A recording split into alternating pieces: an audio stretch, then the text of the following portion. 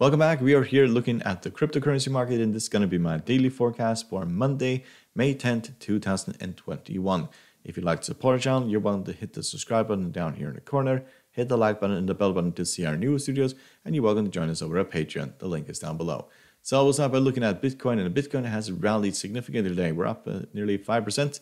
We're above the 50 moving average, uh, significantly above the 50 moving average, but we're still running into the same problems at the 58k. So we can see that we tested this earlier in this week and then it got rejected and yet again we are getting rejected. Whether or not we break this then we could go all the way down up towards the 64k which we was previous uh, all-time highs.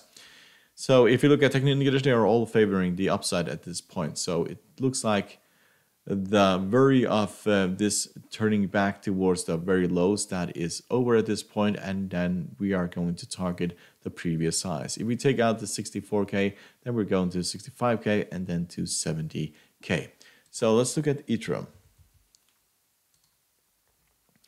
so ethereum is uh, running uh, it's still up today but still it's not as bullish as it has been for the last uh, uh, two to three weeks we are running out of momentum. We could see this uh, trade sideways for the foreseeable future or break towards um, give or take 3000 or the 20 exponential just underneath.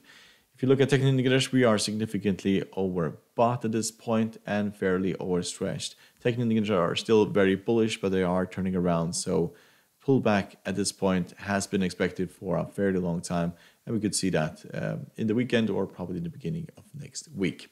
So let's look at ADA.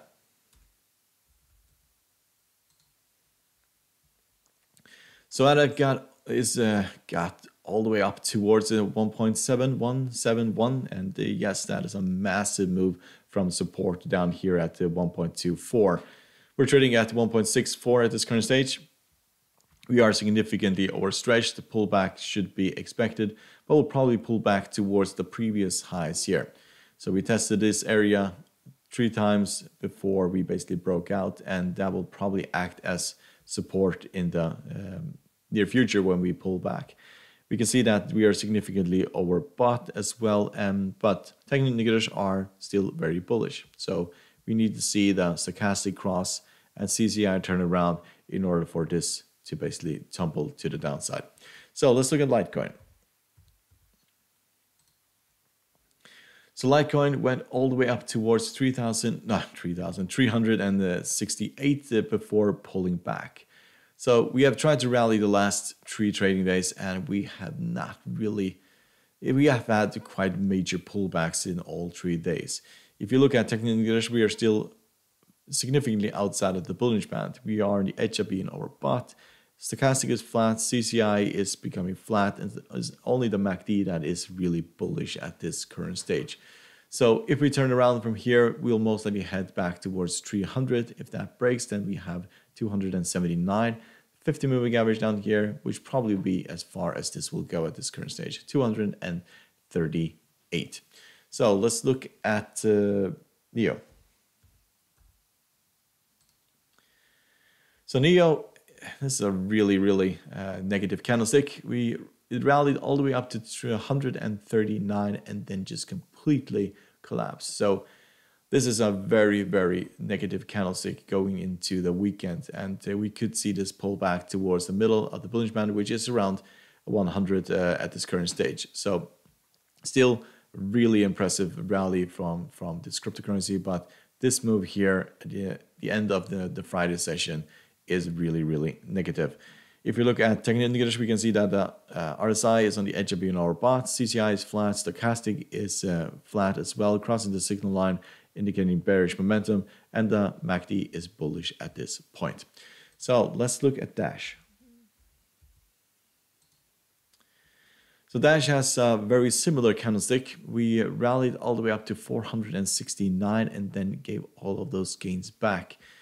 If you get a red candlestick here on uh, to basically tomorrow or on Sunday or on on or a mon- on Monday session, we could tumble back towards support at the middle of the Bollinger Band at 309 or at the 50 at the 272. If you look at technical indicators, they are actually turning around. The MACD is bearish, the CCI is bullish, the MACD is bullish, and the RSI is flat at this point, but we are significantly overbought and also overstretched here. So let's look. Let's look at uh, Dogecoin.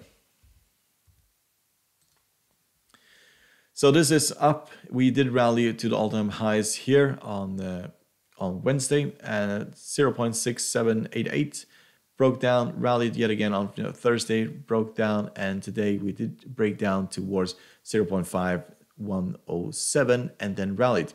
And this current stage we're tra trading at 0.6191.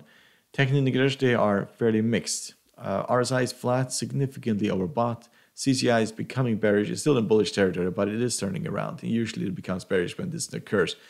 RSI is stochastic is flat and the MACD is bullish. So expectations here, yeah, we are fairly overstretched or bought. Pullbacks can uh, happen at any point.